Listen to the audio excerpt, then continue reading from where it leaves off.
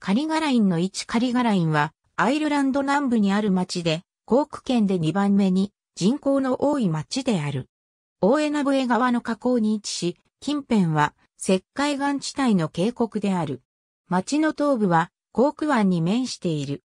1970年代に人口が爆発的に増えたため、大規模な団地が存在する。アイルランドにおける陶器の町として知られる。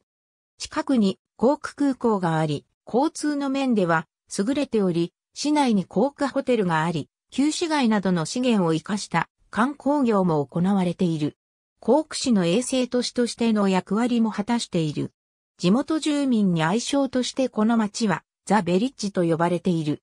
カリガライン村は17世紀頃に開拓が進み、古くは農業で栄えた。19世紀にはトウモロコシや甘の栽培が推奨され、製粉所の発展が促進され、陶器の生産が盛んとなった。地名のカリガーラインはアイルランド語でライオンの岩という意味である。ライオンはノーマン家を意味する。旧市街の中心に大きな岩があり、その岩の上に教会を構築し、ノーマン家によってその隣にカリガライン城が立つ。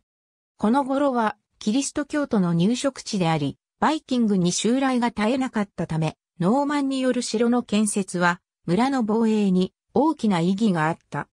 そのため、村を守ったノーマン家をライオンと称え、旧市街にあったその岩をライオンの岩と呼ぶようになり、この岩の名が村の名前の由来となった。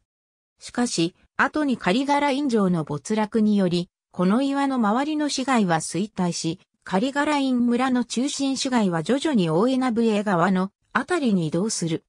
この時に新たに道路建設が行われるなど、カリガライン村はより一層の発展を遂げる。また、岩の上にあった教会は川の北側に移される。